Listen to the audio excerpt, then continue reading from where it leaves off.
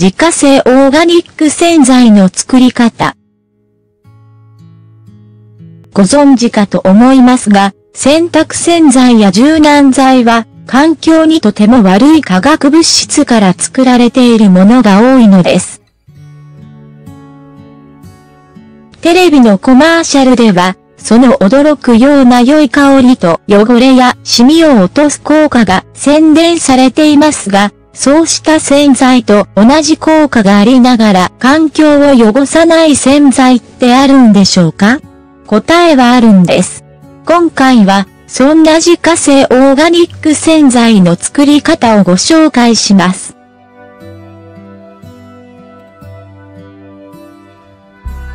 自家製オーガニック洗剤を作る利点。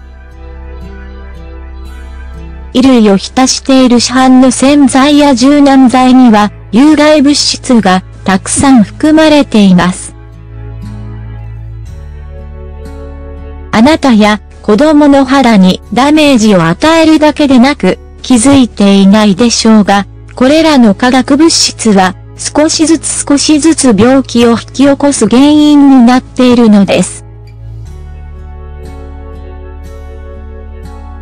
自然石鹸を使うということは、地球の環境に優しいだけでなく、体の健康にも良いのです。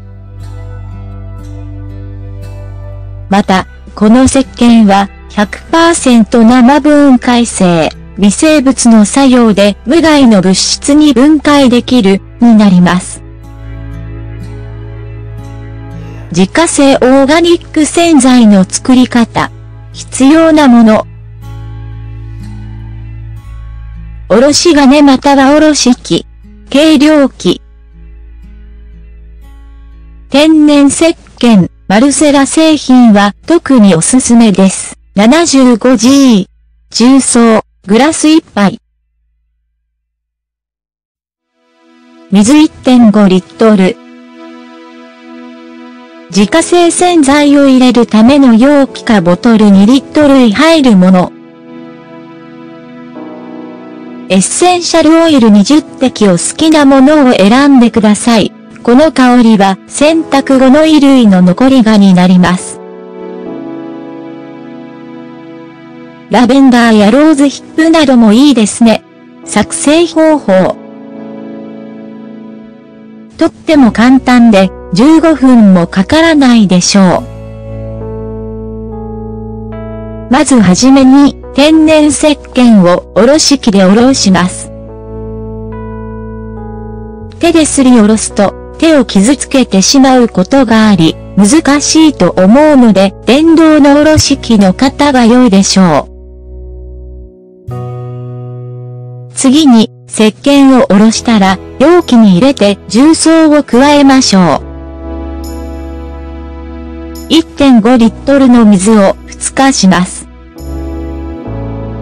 沸騰させるので、容器に注ぐ際には、火傷に十分注意してください。ゆっくりとすべての材料が混ざるようにかき混ぜていきます。よく混ざり合ったら、エッセンシャルオイルを加えましょう。これで良い香りがしてくるでしょう。これで出来上がりです。一週間も置いておけば、状態が変わってきてしまうはずですが、心配いりません。その状態で使い切るまで大丈夫です。使用量の目安は、市販のものと同量になります。あなただけの自家製オーガニック洗剤、お試しください。